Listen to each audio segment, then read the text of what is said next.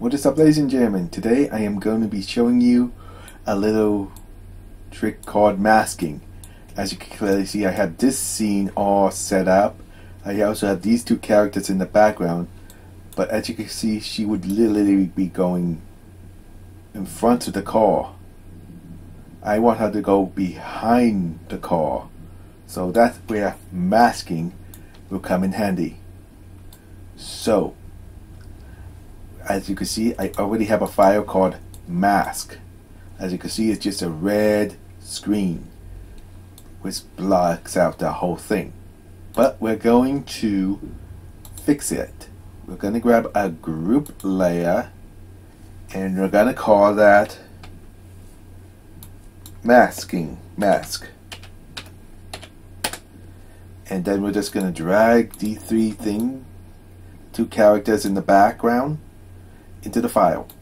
Then we just double click on that, head to here, hide all, then apply. Now as you can see they disappeared, but the background is still red. No problem.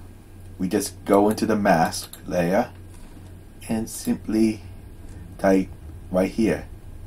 Add to mask but keep invisible, which then makes it disappear and as you can clearly see these two characters have disappeared. Now let's animate them. We'll grab let's say this one. And we'll have her walk like right to here. Which basically wait something's not right here. Oh. There we go. Now we'll just have her. As you can see she is going behind the car and we'll just have it like that. Now let's just see how that looks like in motion. Okay looks like it's a little looks like it's not moving. It looks pretty good but she still needs to animate. Fortunately these are pretty much the default bone layers which come with walk, jump, and one. So I just hit that, hit double right click it and hit that and it initiates it. So now she's actually walking through the scene. And right here I want the other character to start moving. So we're just gonna click that so that way it does not start moving until it passes this point.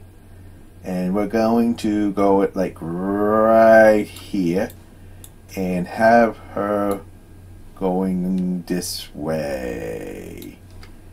And then we head back to here and just like before we right click, click that and now of course it will still walk. But as right here here's an issue right here. You can see she's going in front of the fire hydrant and I want her to go behind it. Well we already know how to fix that. Let's take this layer and put that above that layer and now she is literally walking behind the fire hydrant I took me a while. And it looks like it's pretty good. Yep. Oh, whoa, whoa, whoa, whoa, whoa. You see that issue? The eye is like not moving with the rest of the body.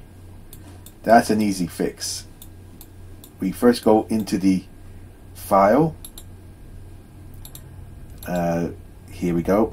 And basically what that's telling me is the head is not assigned to this bone. And now, if I animate it at this point again, let's hide the two cars so we can literally see if that fixed the issue. And yep, it does. But she looks like she's just staring across the street. Let's fix that, shall we? I'm putting her here so we can actually see her when I move eye, which is in this file, which I forgot to label it as eye. Okay. There we go, eyeball.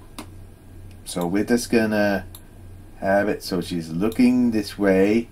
Maybe do that and like so. And there we go.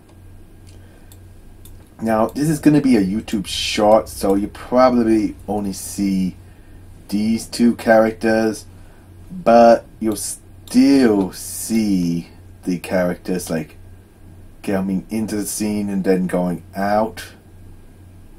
They seem to be walking at a normal pace, but that's the beautiful thing. The reason I do it this way so when I'm ready to do it in a full screen, it's already in full screen. I just have to lay out, print it as is. And it looks like it's pretty good right now. So, and it might take a while for it to render, depending on how many things are going on in the screen. Because right now we basically have four characters and two cars that change color and we have sound effects and music and everything. So that could cause it to like lag a bit. As far as I know the maximum amount of characters you could put on the screen are 10 and it doesn't matter if you have a beefy computer which I do it doesn't matter. The program can only handle 10 characters on the screen at once. And that's like if you count backgrounds uh, like the vehicles, special effects. It basically can only handle up to 10. If you try to do any more than that, then it will start to lag like crazy. Like, like I would be moving around the timeline right here, and then it would just suddenly stop, and then I wouldn't be able to move it anymore. I'm just examining it, using that as an example, and then everything would like freeze up, and if I'm lucky, it will just continue. If I'm not lucky, then it will crash. But on the plus side, Anime Studios has this thing called autosave.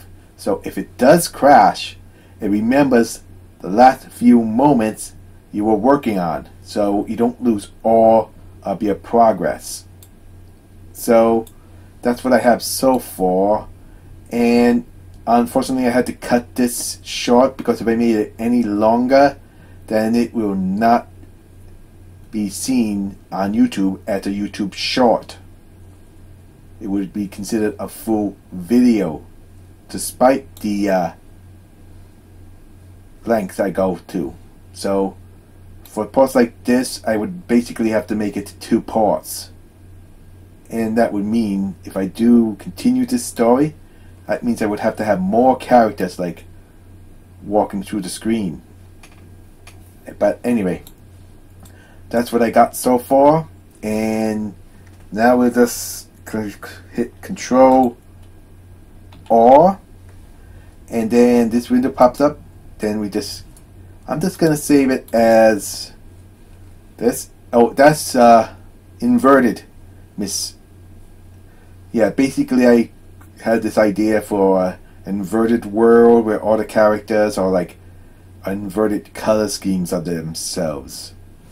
I was thinking of giving them different names, but that's a little bit more difficult. Anyway, this character I don't like, but it is a hell of a boss character, so I had to create her. Anyway, we'll just hit save, and it will begin rendering it and it might take a while. So just get ready to see the finished product when it's done. Also, once it's done rendering, it will autoplay the video. So that's something you need to know. If there's a way of turning that off, I have no clue how to do that. But it doesn't matter to me. It just basically says, hey, it's done with the rendering which means then I can get started on the other stuff. Anyway, that's how I do masking. Anyway, I hope you enjoyed this little tutorial and an explanation on how many characters you should put in a animation because it's crucial you make sure you don't put too many characters. If you want to have more than like 10 characters, I suggest you build it up in layers. For these two characters, like say I wanted them to be two characters, I would have to change the background to say a color like orange. Basically a color that you would not see on these two. Basically like a green screen, but basically you can use any color as long as it's not a color that these two have on them. So like if I put a green screen up, then this shirt would like disappear. If I put a white screen, then they basically would look like they're just not there. So you have to be careful with that. Anyway, I'm rambling on, but that's how I make my animations and you can see how long it takes. So I'm not going to stay here and uh, bore you with the waiting for it to render scene. The more less items you have in the screen, it will go faster. But for now, this is Dimension Edge signing off.